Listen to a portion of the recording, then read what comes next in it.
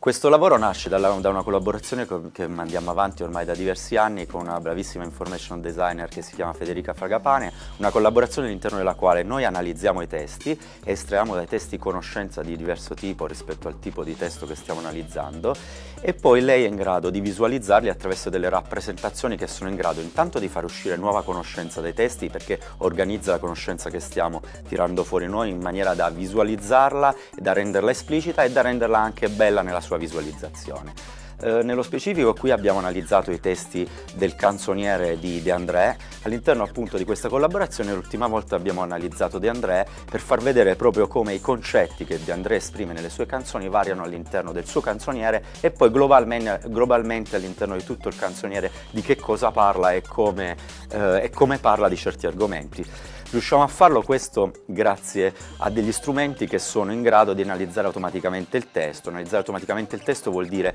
sviluppare un sistema in grado di comprendere il linguaggio, non solo di capire quali sono le frasi, le parole all'interno del testo, ma anche di capire per esempio qual è il, ruolo per esempio grammaticale di una parola all'interno del testo, per esempio un sostantivo, un verbo, un aggettivo, ma anche qual è il suo ruolo sintattico all'interno del testo, quindi data una frase, chi è il soggetto della frase, chi è l'oggetto e via via siamo in grado di registrare attraverso appunto, gli algoritmi basati sull'intelligenza artificiale con informazione linguistica che riusciamo a dargli infatti il nostro laboratorio è una combinazione di collaborazione tra informatici e eh, linguisti. E questa Quest, questi algoritmi sono in grado quindi di far emergere il, la semantica all'interno del testo, il significato delle parole e di creare una specie di rete concettuale del contenuto dei testi che stiamo analizzando. Analizzare le canzoni è molto più complesso perché ovviamente abbiamo uno stile di scrittura complicato, perché c'è tutta una struttura proprio della frase che non è una struttura canonica del testo come troviamo sui libri, ok? E quindi eh, date queste complessità siamo riusciti comunque a, a analizzare il canzoniere di Diana André è di analizzare tutto il canzoniere in maniera diacronica, cioè dal primo album fino all'ultimo album inciso da André, per vedere appunto come questi concetti si evolvevano all'interno del suo eh,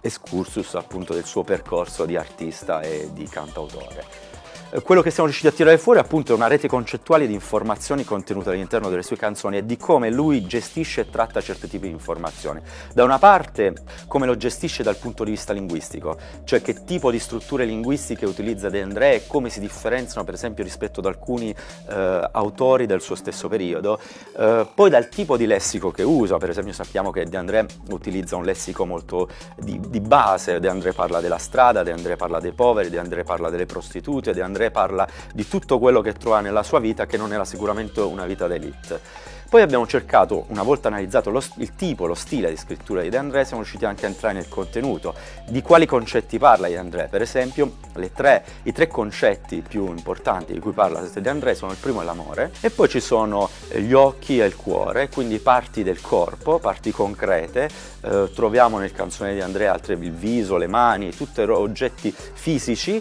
e, però dall'altra parte poi troviamo anche oggetti tipo Dio più trascendentali, la luce, il paradiso paradiso, l'inferno, eh, la rabbia, il dolore, la morte, la guerra e abbiamo, siamo riusciti a vedere come questi concetti evolvono nel suo canzoniere e come lui li tratta.